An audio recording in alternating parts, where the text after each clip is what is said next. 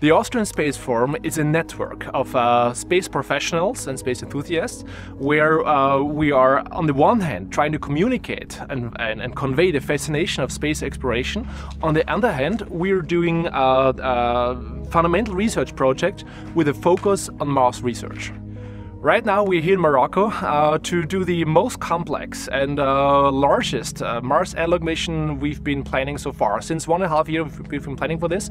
More than 100 uh, volunteers uh, coming from 23 nations come here together uh, to, to test and to study workflows, scientific instrumentation and all other aspects of a human mission on the Martian surface. Morocco to some extent has a lot of similarities to Mars. If you look into the topography, the mineralogy, there are many processes we also find on Mars. It's a large area, it's, it's literally uninhabited in the area where we are right now. So except for the wrong color of the sky, this is one of the best places for Mars on Earth. And that's the reason why we come here for Mars analog missions. Uh, the spacesuit Aouda.X is basically a 45 kilogram spacecraft to wear and also computer to wear. So what we're doing here, we are going out, out of the lab, we're trying to get our the, the dirt below our fingernails, so to say, to see where are the breaking points if you're not just doing one or two EVAs, but working in the suit uh, or for, for, for dozens of EVA over a period of maybe a month or so to see where the breaking points are. At the same point, there, the same time, there are also many biomedical aspects we're looking at. There, we're looking at the psychological aspects as well. And of course, Aouda is only one of 17 experiments, so we're trying to integrate the suit into an entire suite, suite of, uh, of uh, experiments, which are likely to happen on Mars as well in 20 to 30 years from now. Communication is as vital for us as oxygen is for a human.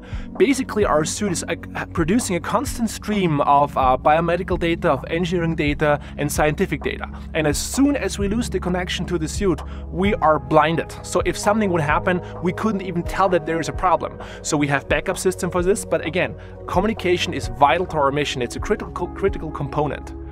And so basically what we're testing are things like uh, the ECG, the biomedical data in general, the gas composition, uh, CPU core temperatures, and so on and so forth, just to make sure that we have a very good situation awareness of how the suit and more important, how the suit tester are doing. As soon as you walk out of the lab and uh, work in a field like this, you immediately recognize there are many natural enemies ranging from dust, electrostatic charging, uh, the rough rocks and so forth.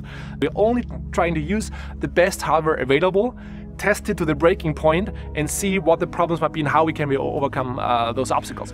With the PolAres research program of the Austrian Space Forum, uh, we are trying to contribute a little bit to the grandest journey, the grandest voyage uh, of, of our generation, basically. So whatever the, the way to Mars will look like in 20 to 30 years from now, I firmly believe on the one hand, the first human to walk on Mars is already born now, and that we as Austrians at the Austrian Space Forum, together with partners from 23 nations, might uh, or will contribute significantly to this project one day. And this is a, a wonderful feeling. We sometimes feel like like shipbuilders, enabling those fantastic voyages generations to come will talk about.